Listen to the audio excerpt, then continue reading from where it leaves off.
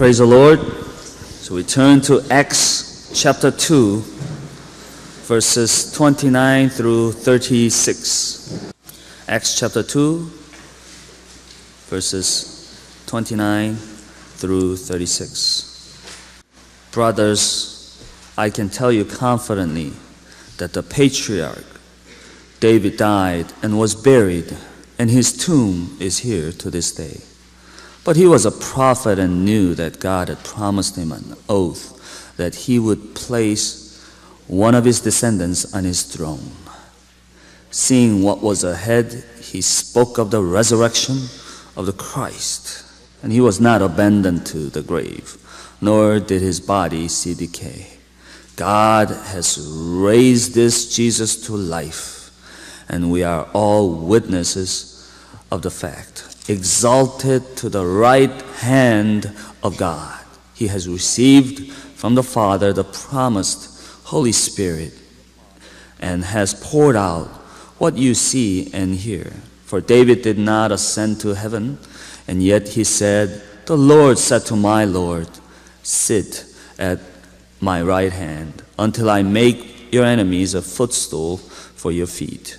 Therefore, let all Israel be assured of this God has made this Jesus, whom you crucified, both Lord and Christ.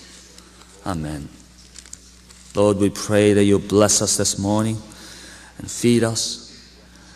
Every single one of us be hungry for you, empowered with a resurrection power, so that we may be alive to proclaim the good news to the sleeping and decaying world. We pray that your spirit will come and nourish us and feed us and do something no human being can do. Liven us so that we may be rising up to be your soldiers. In Jesus' name we pray. Amen.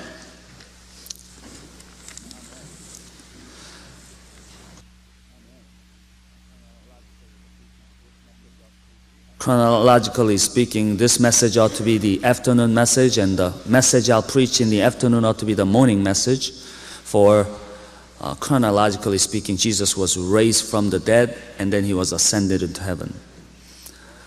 So, if your mind is still working at this moment, what I'm trying to say is I'm going to talk about the ascension of Christ this morning and then the resurrection of Christ uh, in the afternoon service because as I prepared the resurrection uh, message, which I'll preach this afternoon, uh, it had it was speaking much to non-Christians as well. So uh, people who are as people who are baptized, there might be some family members who may not be Christians and all. And I was thinking, who, what uh, non-Christian would come to a 5 a.m. Uh, morning service. So I was thinking to myself, maybe I'll switch it and I prayed about it. I felt comfortable about it. Then again, when we see him face to face, he might say, You had to preach chronologically or something like that. Well, I take the responsibility. Uh, but uh, this morning, I'll, I would like to, would like to think about ascension of Christ. It is very closely related with resurrection, of course, because at this moment, as a resurrected Lord, He is ascended to heaven in the right hand of God. But the fact is, Jesus is risen from the dead. Whether He is speaking to other people at this moment for 40 days or He's ascending to heaven, we realize that Jesus is risen from the dead. Amen? Just survey people, wonder, and think about this fact Easter is not just a happy time because no more Lent period. Whatever you're giving up, you can get back to now. Uh, but it's Jesus has raised from the dead. I mean, it's a celebration of his resurrection. Resurrection is very important because all the wrath that had to be poured on Christ on the cross it's all done, all gone. No more wrath to pour on him. So God was saying, Arise, my son. And he's alive again. no more death, no more wrath to pour on his son. That wrath we deserve. All the sins of mankind. Everything, every sinner, layer after layer after layer wrath that he received. There's no more wrath to pour. That infinite, valuable person took it all. So resurrection is important because it assures that there is no more wrath for us to take because Christ took it all. That means we can be the holy people of God. That means that power that raised Christ from the, his death can be alive in us to raise us. Every time we feel uh, down and depressed, He can raise us to life. And even though, even physically, when we die, if we trust in Christ alone for salvation, that resurrection power can raise us to life. On and on. Resurrection is very important. However, uh, as we look into the scripture, I believe ascension is just as important. Okay. After some appearances to people, 500 plus people, 40 days, he ascends. Ascends. Ascension. Theological term is ascension is equal, as, is at least as equally important as resurrection. We think ascension of, as just a departure by disciples and he's going to heaven. Well, there is special purpose and meaning to the ascension of Christ because he doesn't just ascend to just Mars or something like that, but he ascends to the right hand of God. Many, many places. Acts chapter 2, verse 33, we just read. Right hand of God. He's enthroned to right hand of God. Hebrews chapter 1, verse 4, as he talks about that great person of Christ. Seventh statement, great statement about Christ we talked about Friday. It says there, right hand of God. Psalm 110, uh, as it talks about Christ as priest, king, and judge, it says, right hand of God.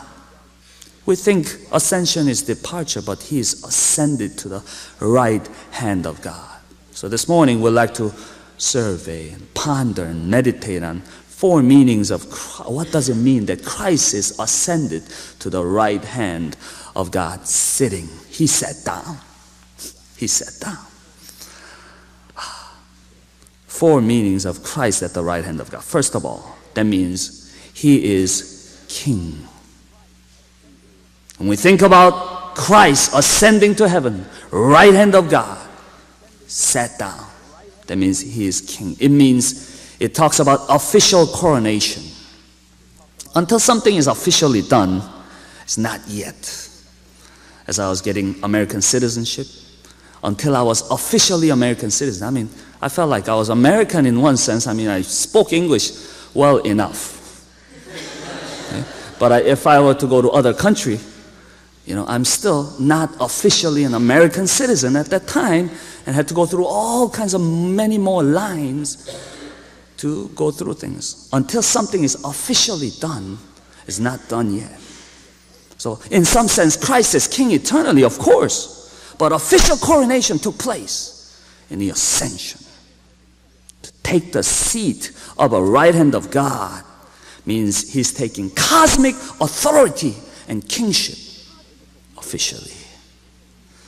Biblical view of reality and the world many times is talked about as kingdom. How many times have you heard kingdom? Kingdom means there's a king, there's subjects. That means we are living in the kingdom of God. Any realm of Christ's rule in the hearts of people. If we have trusted in Christ alone for salvation, we are in the kingdom of God. Amen? That means Christ is our king. And it's an official coronation of our King. Kingdom of God. How many times as Jesus comes and he preaches, repent for the kingdom of heaven is near, or kingdom of God is near. Same thing with John the Baptist. Kingdom of God is near. Realm of Christ's rule for those people who will obey is called kingdom of God.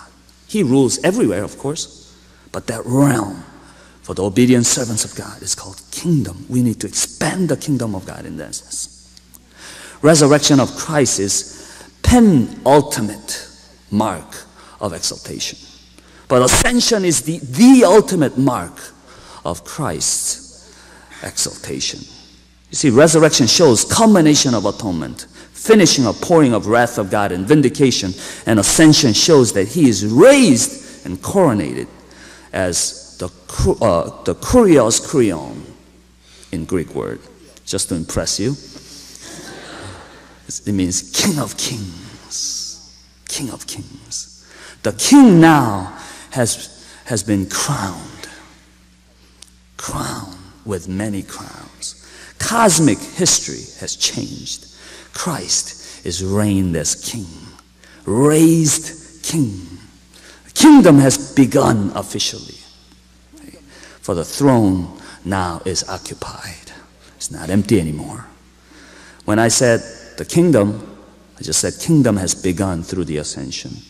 Not consummated, not finalized. Okay? It started, it has begun officially. That means it's keep on going right now. Kingdom is being expanded. And he will rule, of course, in the end, he's going to come. And every knee shall bow, and every tongue will confess Jesus Christ as Kurios, Kurion. Now, uh, at this moment, we think about all that. Oh, Pastor that's just a theology. That's just a, just a, something the few verses of the Bible say. When I go out to the world, when I go to my classes, when I go to my uh, workplaces, well, I, I don't feel like King is there. It doesn't seem like it's going to work. Well, we seem like minority at this moment. But what we see and what we feel is not much of a reality in, in comparison to what the scripture says. Word of God will never change. Your feeling will change and your circumstances will change. But the reality of the scripture and the uh, power of his word will never change and it will be done. We need to believe that. We may be laughed at, ridiculed at, discriminated as Christians. I mean, you you witness 20 people go to mall and witness and we get kicked out right away. I mean, uh, 20, any group will uh, talk about things, any group will do all kinds of things, nothing will happen, but 20 people going to mall and witness will get kicked out. Many times it happened in our lives as well. Many times Christians are even killed in many places. So we can easily become pessimistic. Is that kingdom really true? Does the king, is the king really alive? But the scripture says we are children of the king. And we have a mission to accomplish. And the word of God is more of a reality than what we feel or what we see. As, as I was preparing this kingdom, uh, thinking about kingdom and the message, I thought about Robin Hood. Have you saw movie or read the book or cartoon or anything? Robin Hood? You know, he's a bandit, outlaw, uh, but he's a good one, right? Because all the money that he gets from the bad ones, rich ones, he gives to the poor, underprivileged ones. And he is loyal to the king named King Richard the Lionhearted, and he's so loyal to him.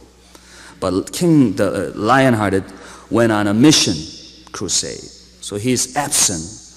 Meanwhile, Prince uh, John his the brother who's a bad ruler becomes a ruler and he's abusing people again. So Robin, what does Robin Hood do? Robin Hood steals from the rich ones and gives to the poor because he's not loyal to any other king but the only one king, Richard the Lionhearted. And of these people living in this uh, forest, is it Buckingham Forest? I couldn't think of the name of the forest. Buckingham Forest, I think. Anyway, the forest in there, all these people living with the Robin Hood and living, living with Robin Hood and everybody, they were so happy because they were who they were. And you know, thinking about that, I, I was thinking to myself, in their own colony, they are living uh, like their own, contrary to the world, rebel to the world. They're living together, doing good things, loyal to the absent king. I thought about that. Wow, that's like a Christian. We are this, this CFC or churches in, in, in this campus are like we're living in this forest, loyal to the absent king, rebel to the world. I mean, we'll, we need to keep the driving uh, laws and stuff like that, but you know, anything that's against the scripture, we can go against, contrary to the world, because word, word of God is our law. But we are loyal to our absent king and that king is coming back. One of the great scene of Robin Hood is that when King the Lionhearted uh, comes back, uh, Robin Hood cries out, "My liege!" means my king, and he comes back. That will be the awesome sight of the of the return of our Lord Jesus Christ, who is visibly absent, but by His Spirit present. Physically, as a in a human aspect, He's, he was absent ever since the ascension, but in the spiritual aspect, in the God sense, that God man is always never absent in our lives by His Spirit. But He's coming back. So, first of all, when we uh, think about the meaning of Christ at the right hand of God sitting, means that He is coronated as the King. Secondly, what does it mean when He is, sit, he is sitting at the right hand of God? It means that He's the priest, the eternal priest, not only the king, but the priest. Right hand of God is also place for the eternal priest. He not only ascends to heaven, but also he has entered into the inner, inner sanctum. He has entered into the holy of the holies as high priest after the order of Melchizedek and enter into the presence of God not only once a year, you know, high priests were to enter into the presence of God, uh, uh, uh, holy of the holy, once a year, but every single moment, he's there. I mean, he's there. That's where he's living in the sanctuary of God, in the presence of God, right hand of God. That's where he's all the time. And how many times Scripture says he's interceding for us, praying for us, continuously interceding, praying in IBF in the presence of God all the time, not only once a year, but every single moment in our lives as our eternal priest. He started the ministry of intercession not only when he ascended, but even on the earth. He continued to pray.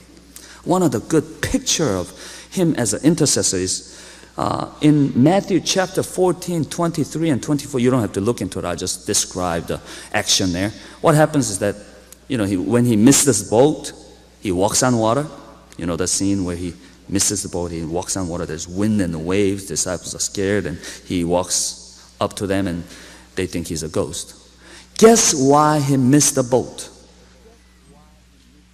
He missed the boat, not because he was sleeping, but because he was praying. He was praying, it says, and he missed the boat. I thought about it. I go, when's the last time you missed uh, something because you are praying. Think about that.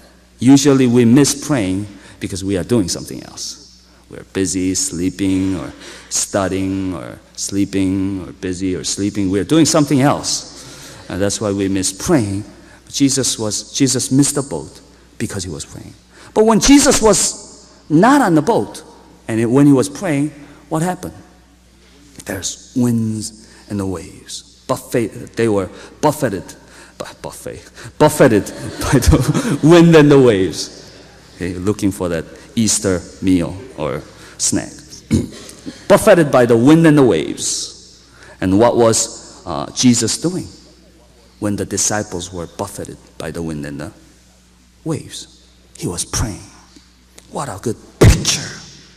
When the boat of our lives are buffeted by the wind and the waves in our lives. He's at the right hand of God, always praying. You know, James chapter 5, that wonderful picture of prayer of righteous man is powerful. You know the verse in James chapter 5.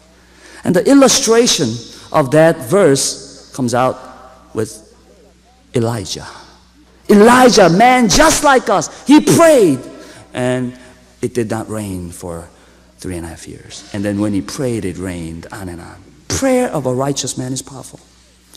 Think about Moses when he prayed, the Red Sea was divided. I mean, ocean is divided. Prayer of righteous man is powerful. When Moses lifted his hand, Joshua, his disciple, and the Israelites defeated Amalekites. When his hands were down, he stopped praying, they were losing. When his hands were up, they were winning. Or like this. Maybe he tried it like this and losing and winning. Prayer, righteous man. is powerful. Joshua, when he prayed, the sun stopped. Hannah prayed, sun came. Peter and John prayed, lame, walked, leaped, praised, joy. Paul prays, and that person is raised to life. My question to you is what is your problem? One who is greater than Moses and Elijah and Peter and Paul, Hannah and John is praying for us all the times, every moment of our lives. What is your problem? A, if a mere human being, somewhat righteous, prays and God answers all these things and dead is raised to life, sun stops, ocean is divided how much more, much more greater than Moses, greater than Elijah, much more righteous than Moses and Elijah and Joshua put together, Jesus Christ is praying at the right hand of God, interceding for us. What is your problem this morning? He is right now at the right hand of God, as a resurrected Lord, praying, interceding in our behalf.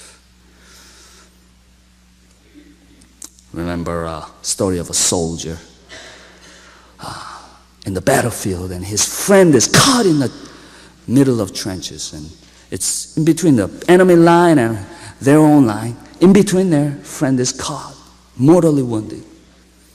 What does nobody wants to go because bullets were flying. Nobody wants to go. You go, you go. One soldier said, What time is it? Nine o'clock. As soon as he heard nine o'clock, he runs out, gets his friend, comes back, saved. Soldiers were saying, Why did you ask what time it was? Because when I was coming out to the battle, coming out to the war, my mother said, I'll always pray for you at 9 a.m.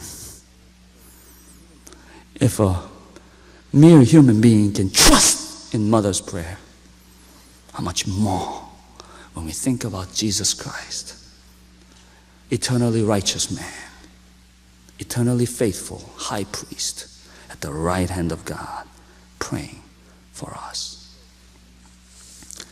Thirdly, what does it mean when we say, at the right hand of God, Jesus sat down? That means not only he's a king, not only he's the priest, but he's also the judge supreme judge. Right hand of God is not only locus of authority, but also locus of divine tribunal. Not only the political legislative aspect of government, but also judicial aspect of the government. It is the throne of judgment. Right hand of God is the place that you judge. In the last days, Jesus Christ will judge us. Every single one of us, whether you believe in Him or not, whether you lived righteously or not, whether you want to be there or not, you're going to be there. You're going to be there, and every single thing, every single act, every single day, every single hour, every single moment, every single seconds of our actions, motives, intentions, thoughts, all that we are and all that we have, however we lived, however we wished like we were lived, everything will be judged by that judge who's sitting right hand of God at this moment. Here's an interesting thing. Put your, point, put your uh, finger in Acts chapter 2, but let's just go to a, one illustration of him at the right hand of God. Acts chapter, in Acts chapter 7, just wanted to show you, just a few pages later, Acts chapter 7.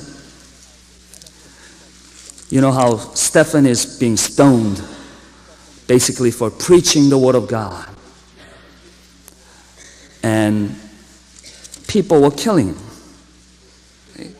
And basically, they, he just says some things that he shouldn't have said. You stiff necked people with uncircumcised hearts. Those are not really uh, pleasant words to Jews. And it pierced them so much, they either had to believe it or kill him. they decided to kill him.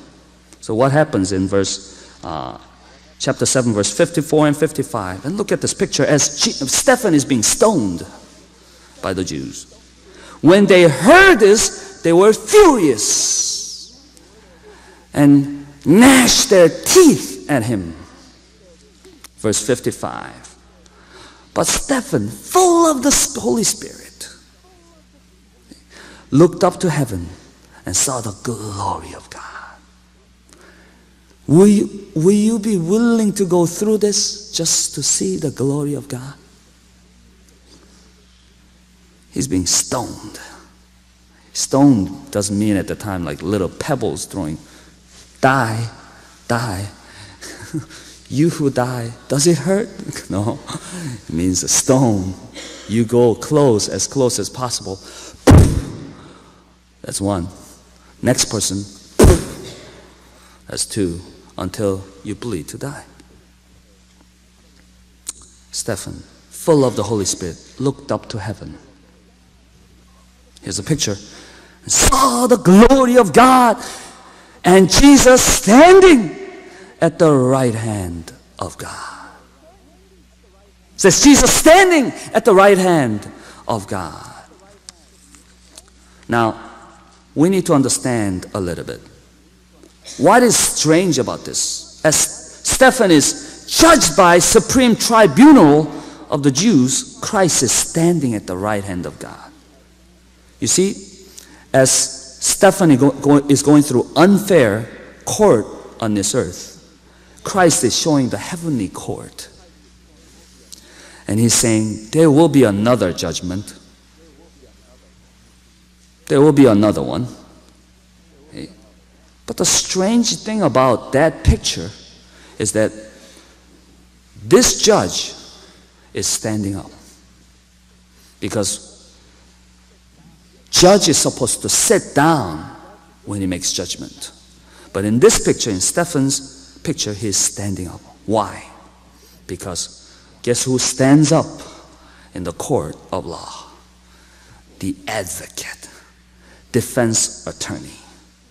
So, what is Christ showing? He is standing at the right hand of God. So, that position, he's standing, supposed to be judge's place, judge's place, and his posture ought to be, he ought to be sitting down. But there in that picture, in the position, in the place of judge, this judge is standing up. So, what is Jesus saying? Jesus is saying, I am the judge. There will be next judgment, another judgment coming.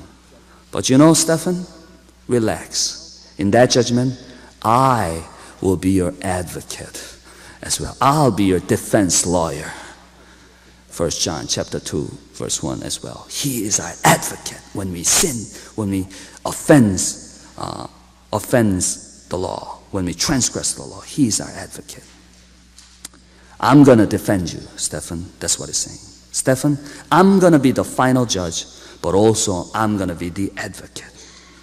Uh, ones who are washed by the blood of the Lamb, Christ is showing the same picture through that chapter to us today.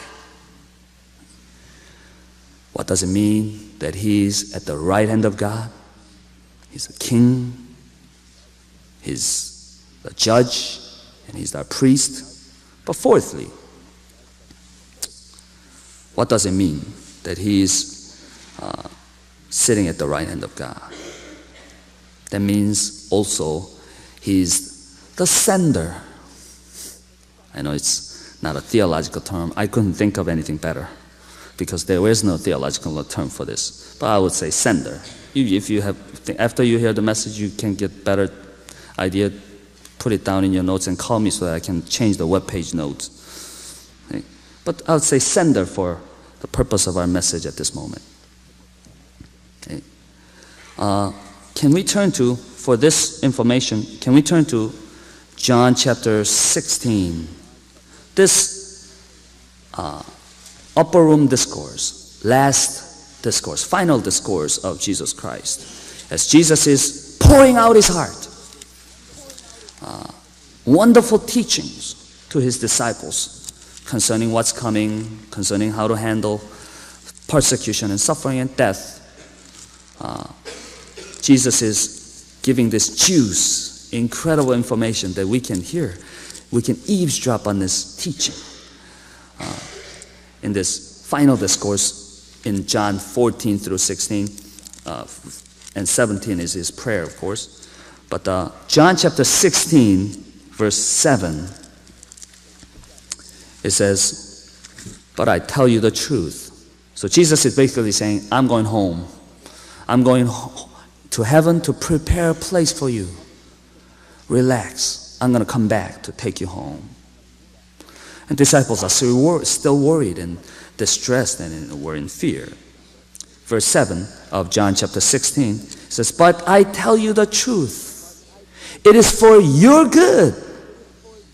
It is for your good that I am going away. Now, what in the world does that mean?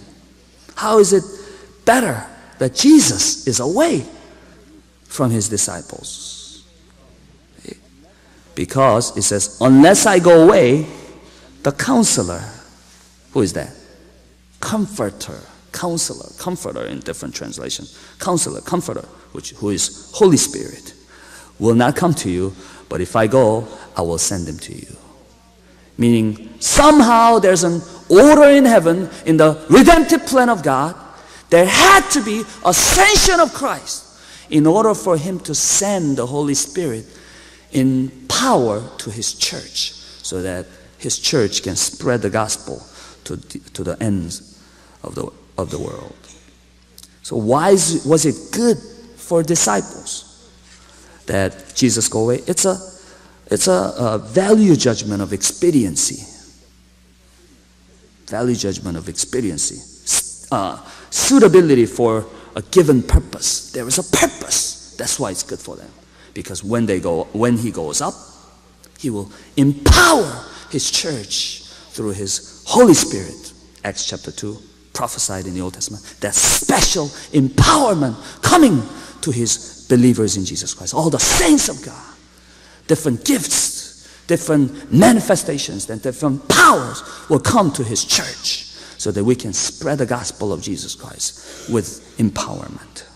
He will send Paraclete, the Holy Spirit, Comforter, Counselor will come. When we say Comforter, we think of like soft, elderly woman, uh, like comforting you. Oh, that's okay. Well, do you know the word comforter means come with uh, forte, comforter, forte, with force. and it's not like, oh, it's okay kind of thing, but, you know, force with power, comforting, power, empowerment. That's what it's talking about. Paraclete comes, he's going to empower us. What ways? We need to talk about it a little bit. Let's just look into that upper room discourse and eavesdrop a little bit more on his teaching on, on the Holy Spirit. Of course, we can, wish we can go through all these things and study, uh, study uh, pneumatology, which means study of the Holy Spirit. But uh, time's sake, just look at just look at a few verses. John chapter 14, verses 16 through 18. It says. And I will ask the Father, and He will give you another counselor. That is the Holy Spirit. To be with you forever. He's going to be with us forever. Holy Spirit's going to be with us forever.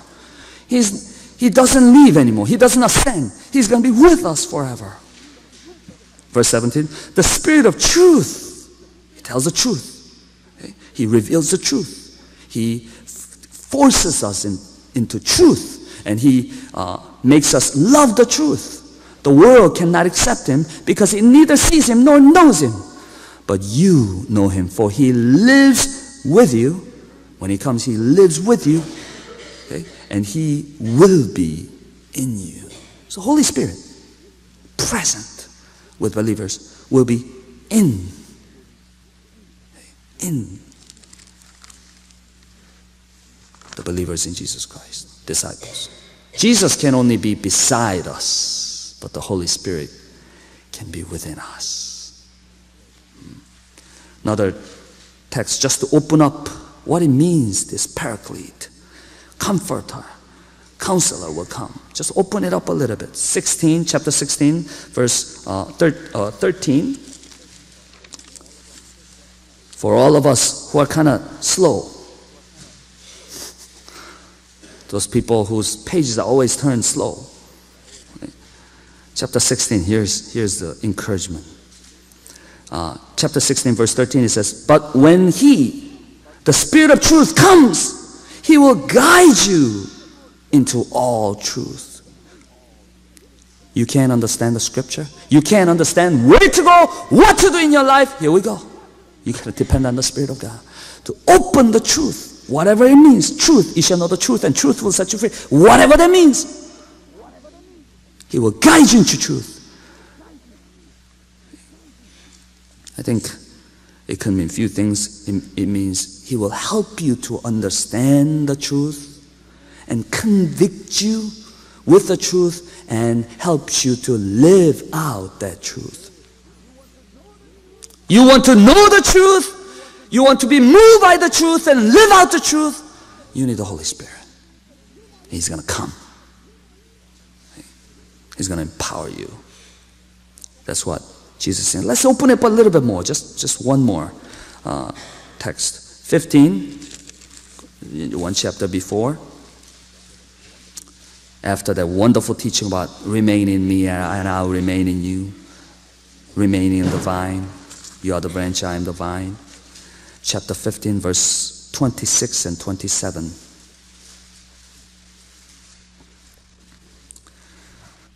says, When the counselor comes, whom I will send to you from the Father, the Spirit who goes out from the Father, he will testify about me.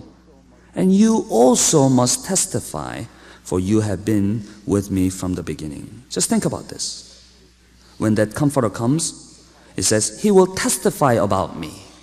So, comforter, remember, is in, this, in the disciples. And when he says, He will testify about me, who would he testify to? Testify to the one who he is in. That means within us. Holy Spirit is moving, acting, living it out. You know, when Bibles, when Hebrews chapter 4 says Word of God is living and active, judges, divides, and all these things. Holy Spirit using the words, dividing, moving, acting, changing, testifying about Christ. He's working within us. All the believers in Jesus Christ who have, who have received the Spirit of God. And He's living in us. And as the Word of God goes into us, He's working with it.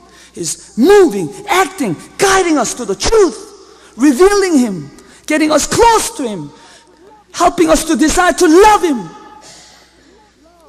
Not to love and sin and gratify our sinful desire, but love Christ, the truth. Spirit of God is doing that, testifying about Christ, whatever, then that encompasses. And then, look at this, verse uh, 27. He will testify on me. Verse 37, is it, or oh, 27, says, And you also must testify, for you have been with me from the beginning. So as Spirit of God is doing that within me, Jesus is saying, now you also, as you are empowered by the Spirit, you also must testify to others. Testify about me, for you have been with me from the beginning. So he's talking to the disciples. When the Holy Spirit comes, he's going to empower you, move, act, probe, turn, change you and then what you have to do as you put your life on the line already, he talks about in different places in 16 and 15 different places. They might kill you, they might get stoned, beat, uh, arrow through your neck or whatever, finger chopped or whatever it means, that there, even though you might die, put your life on the line, as the Holy Spirit changes you, you're going to have to be witnesses to others. And guess what? That's exactly what happens in history. When Holy Spirit worked within them, Holy Spirit worked through them. And in the first century, known world was reached with the gospel of Jesus Christ. What does, what does that mean? That means that same Holy Spirit is present with us. He can, he's going to guide you into truth.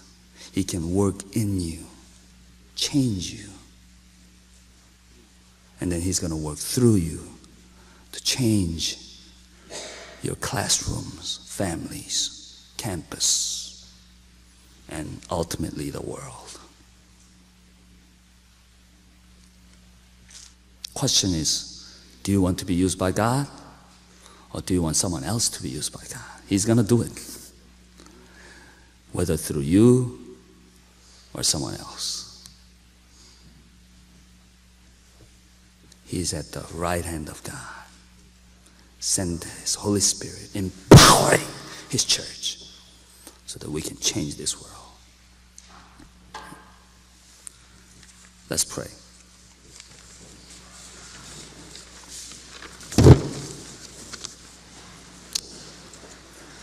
He's at the right hand of God, sitting as the King of Kings, Kurios, Kurion, King of Kings, Lord of Lords. Every knee will bow, every tongue will confess that Jesus Christ is Lord, whether you like it or not, whether you do willingly or unwillingly. He's the King of Kings, Lord of Lords, ordained, anointed coronated, sovereign king. And how in the world is he ruling? He's ruling through, ruling by his spirit through his people. He's empowering his people. He's strengthening them. And also he's praying so that we will not fall away. We may fail, but we will, we, will, we may fall, but we will never fail because we, He is praying for us. We are in Jesus Christ. There's nothing that can separate us from the love of our God. But He's not only defending us, but He's empowering us, conquering, ruling, one heart at a time, expanding His kingdom until every heart, every ears will hear that He's a King. And He's going to come and He's going to judge this world.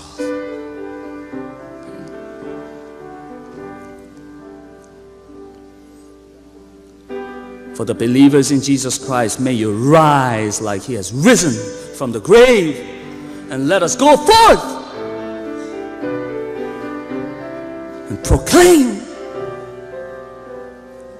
the message of our absent King.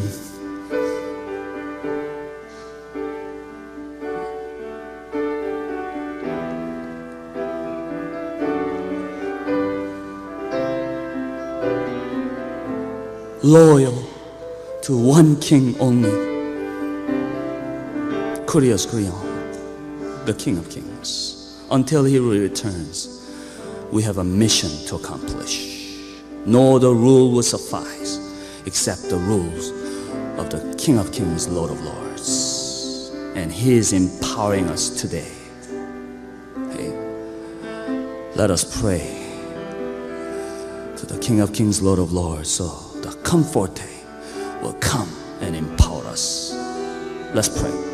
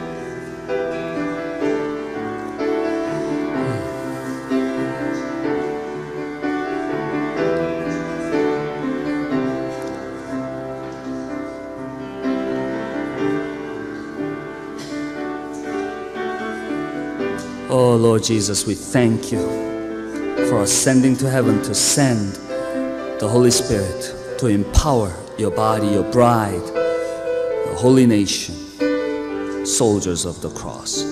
We pray that you would empower us today. May our only longing be, Maranatha, Lord, come.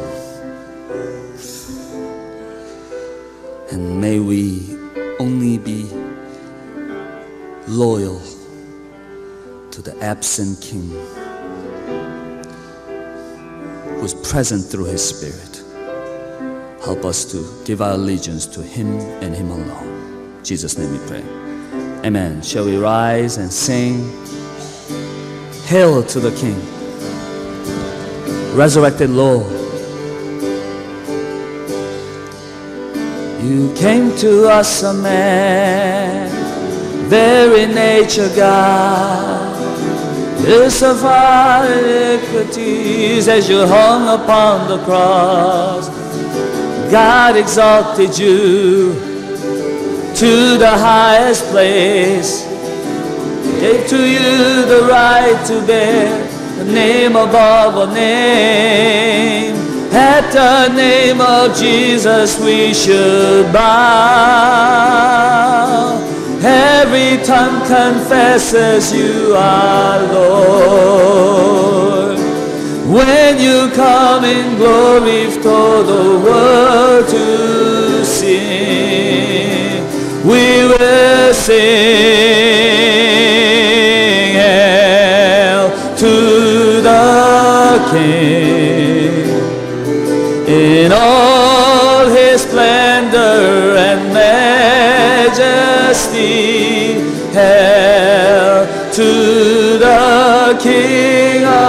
Kings, Lord Jesus, our God. Eagerly wait, eagerly away, coming of the day when the glory of the risen King will shine upon the earth. The rival throne will fall before the Lord of all. Held supreme authority in the true and living God. At the name of Jesus we will bow. Every tongue confesses you as Lord. When you come in glory for the world to see, we will sing. Hail to the King. Hail to the King. In all his splendor and majesty.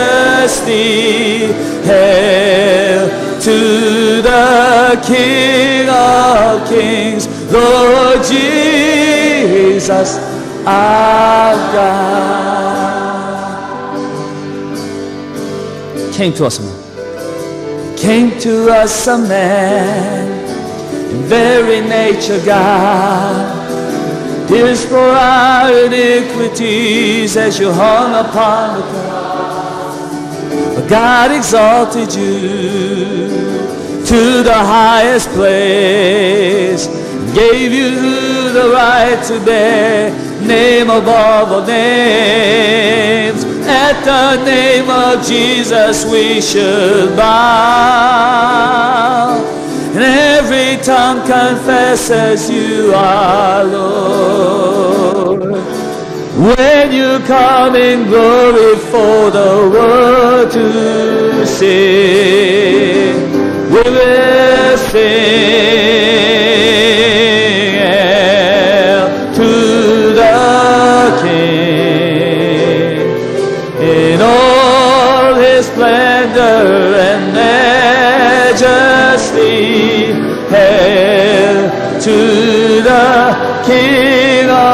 Kings, oh Jesus.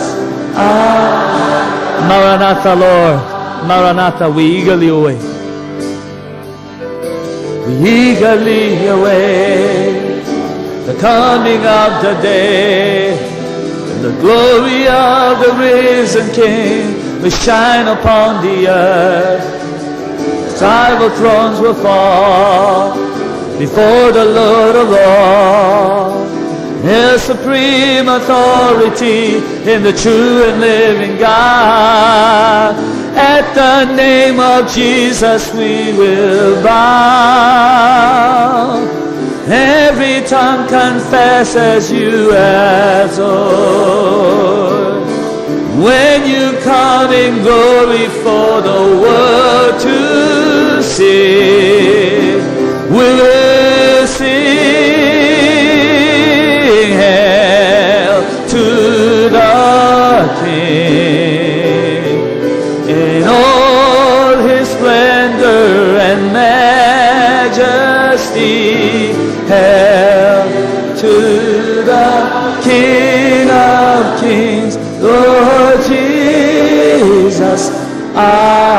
Hail to the King. Hail to the King in all his splendor and majesty. Hail to the King of Kings, Lord Jesus, our God. Seated. Let's prepare to come to the table. think a different aspect as we did. This is the third table that we come to as the body and the congregation this weekend. Uh, Thursday, we come to the Lord who's personally handing out his flesh and blood to us. Yesterday, he's shining his face, blessing us, giving us the blessings as he's giving his presence to us as he's giving out his flesh and blood to us.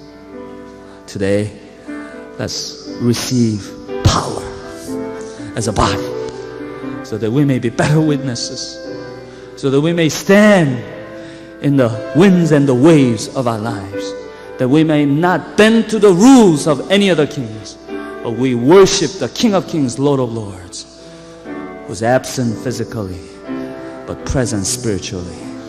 We only worship one King who's coming to take us home. Let's pray for empowerment as we come to the table. Let's pray to come to the table.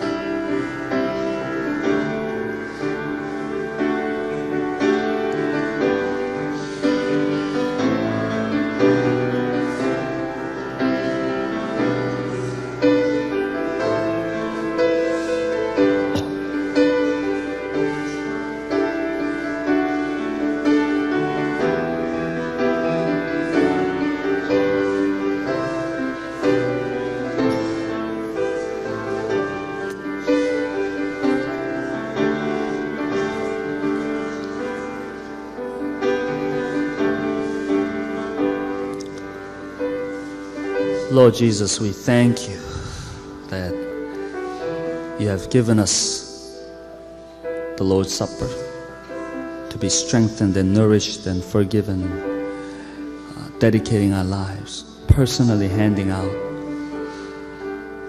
your grace to us. And we pray as we participate as a body, may you empower us so that we may be better witnesses to this world bless us this morning. We want to worship the risen King through it as we do this in remembrance of you. In Jesus' name we pray. Amen. And the night he was betrayed, he took the bread, he broke it and said, This is my body broken for you. Take, eat, and do this in remembrance of me.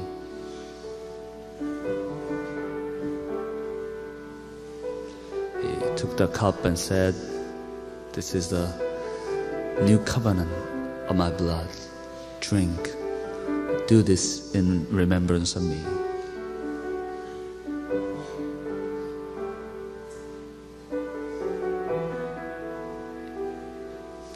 Uh, please all come through the middle aisle, take the bread and the drink, and go back to your seat. Uh, but Bible gives clear instruction concerning participation. Who can participate? It's only for believers in Jesus Christ. Uh, if you're saved, but even among the believers, you must watch yourselves. Are you a Christian who's uh, committing yourself to the Lord? Okay? And do you want to receive the forgiveness of God? Do you have repentant heart? Doesn't mean you have to have perfection to come to the table, but in need of His strength and forgiveness and power. You want to give up certain areas of your life, it's just difficult. That, that's a repentant heart. Coming to the table, desiring forgiveness, desiring to commit yourself to the Lord. After clear examination of yourselves, you can come to the table according to 1 Corinthians chapter 11. So please watch yourselves and uh, in repentance come to the table, committing yourself in need of His grace and mercy, power. It's for all those people who are weak and sick, needs forgiveness. It's for everyone who needs the strength and the power of God. Okay? If you desire that, you need to, you can come to the table. If you are not a Christian, you can proceed the line for the better flow of the line and then go back, but please do not take it. But this clearly shows that you are in need of the grace of God. You need to open up your heart and mind and say, Lord Jesus, come to my life, come to my heart, be my Lord and Savior. It's not because we want to discriminate you, but we, we love you and we want you to have Christ in your life. Okay? Uh,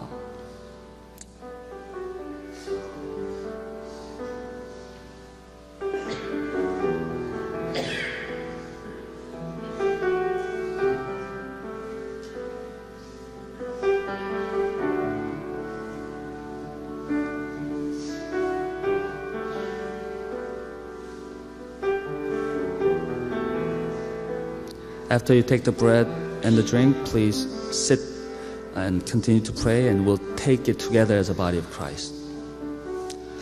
People of God, come forth, come to the table.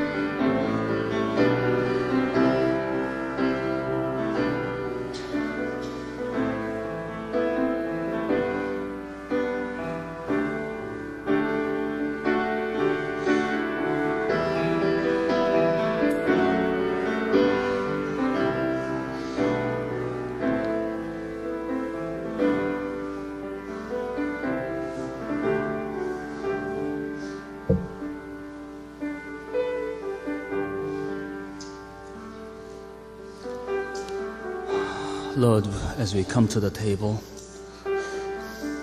we are in absolute need of your grace and strength. We come as branches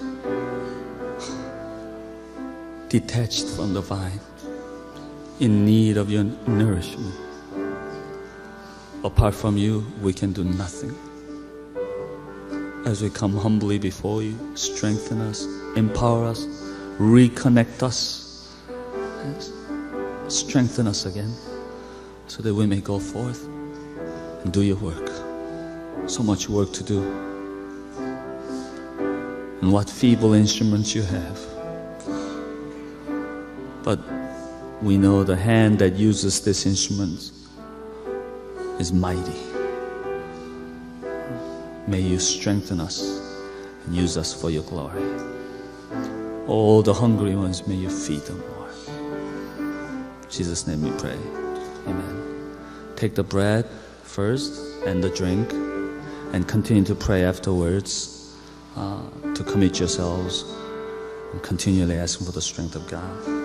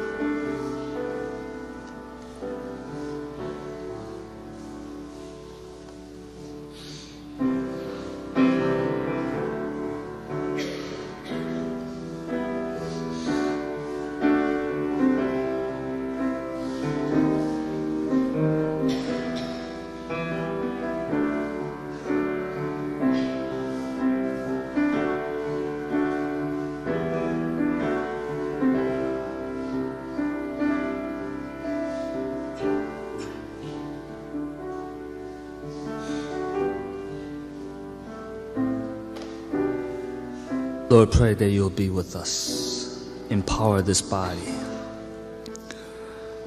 so that we may be better witnesses in this campus. Empower all the bodies this morning, all your bodies in this campus, in this country, and in this world, so that we can conquer this world in Christ's name. Help us not to fight, talk negative things about one another for we are working for the same king on the same side against the same enemy. Pray that the Kurios Kurion would empower your body in this world so that you may return and take us home. Thank you, Lord. In Jesus' name we pray. Amen. Shall we rise and sing 217? Christ the Lord is risen today.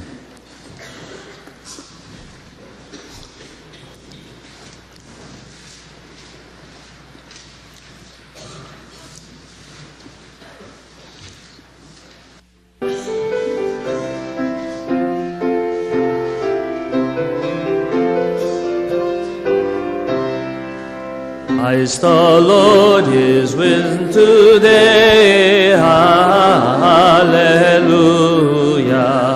Sons of men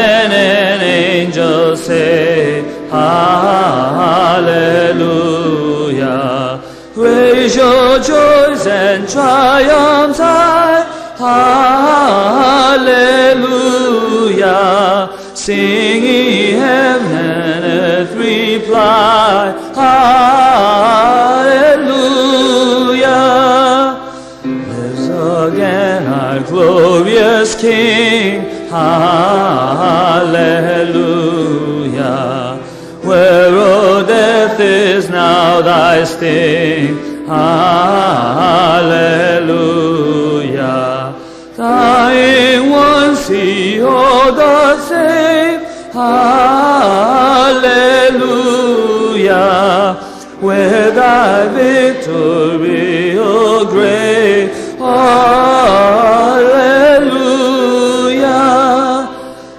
redeeming work is done. Hallelujah. Fought the fight, the battle won. Hallelujah. Death in vain for this in rise. Hallelujah.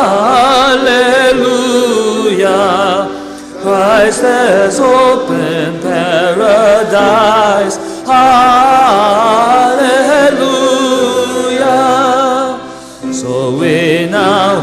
Christ has led. Hallelujah. Following our exalt his head. Hallelujah. May like him, like him we rise. Hallelujah. Eyes across the greater sky. Just the first verse one more time. Christ the Lord is risen today. Hallelujah. Sons of men and angels say, Hallelujah. Raise your joys and triumph